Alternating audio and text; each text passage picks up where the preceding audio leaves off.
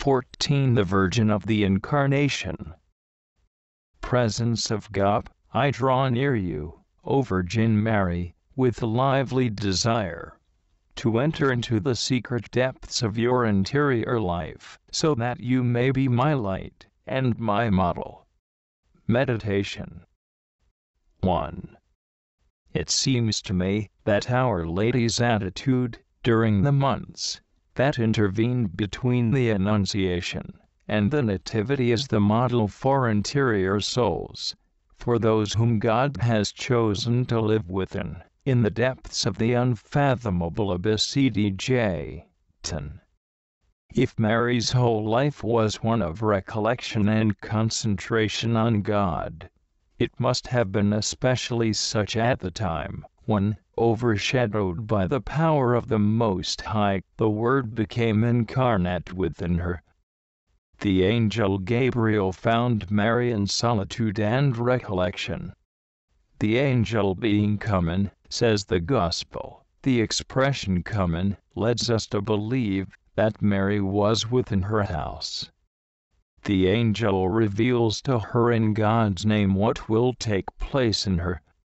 The Holy Ghost shall come upon thee, and the power of the Most High shall overshadow thee. And therefore also the Holy which shall be born of thee shall be called the Son of God. LK 1 35.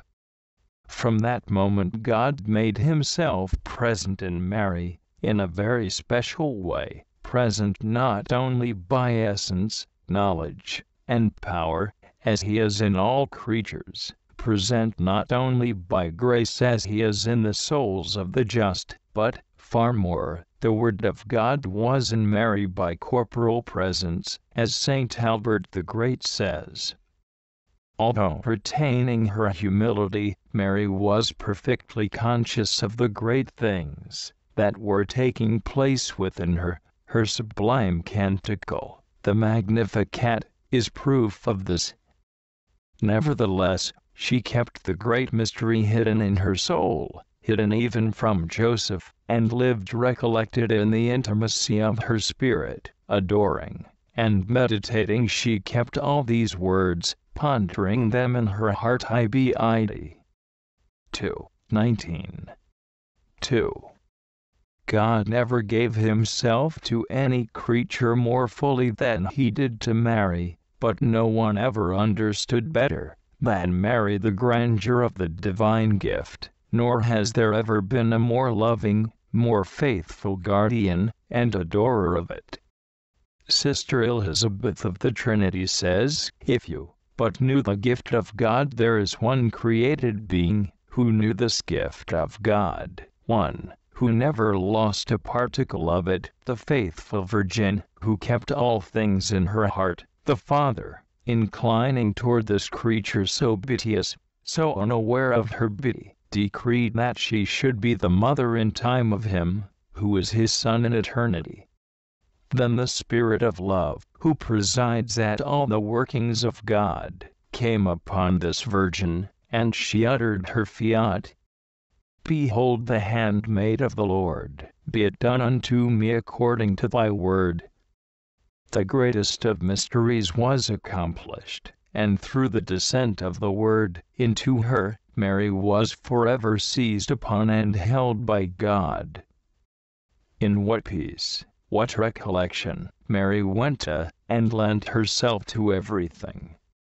How the most commonplace things were divinized by her for she remained ever in adoration of the gift of God. Yet that did not hinder her from spending herself externally when there was question of practicing charity. The Gospel tells us that Mary went into the hill country with haste into a city of Judah and saluted Elizabeth. Never did the unspeakable vision which she contemplated within herself diminish her exterior charity. For, says a spiritual writer, if contemplation is directed to the eternal praise of God, it possesses unity, and will not lose it. E.D.J. 10. Colloquy. O Mary, I love to contemplate you, as you adore in profound recollection the great mystery which is taking place within you. You are the first temple of the blessed Trinity, the first adorer of the incarnate Word, the first tabernacle of His sacred humanity. O Mary, temple of the Trinity.